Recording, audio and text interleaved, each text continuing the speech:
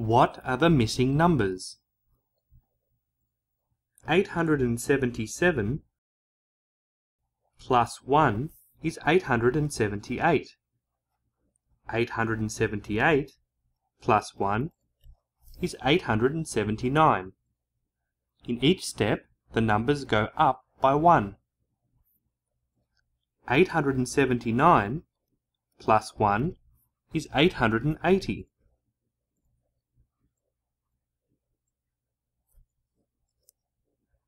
881 plus 1 is 882.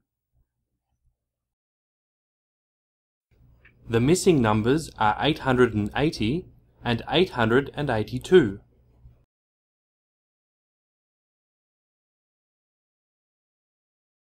What are the missing numbers?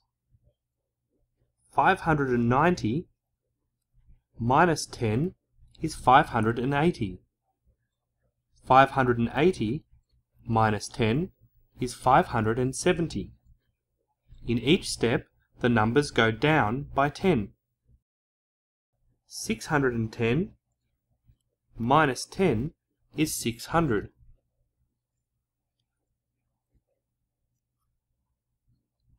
Five hundred and seventy minus ten is five hundred and sixty. The missing numbers are 600 and 560. What are the missing numbers? 433 plus 100 is 533. 533 plus 100 is 633. In each step, the numbers go up by 100. This number plus 100 equals 433. The missing number is 100 less than 433. 100 less than 433 is 333. 633 plus 100 equals 733. The missing numbers are 333 and 733. What are the missing numbers?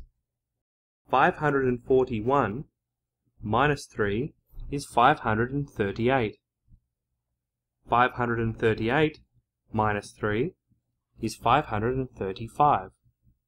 In each step, the numbers go down by 3. 532 minus 3 is 529.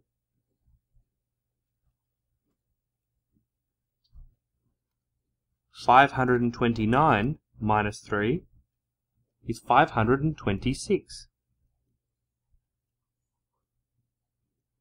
The missing numbers are five hundred and twenty-nine and 526.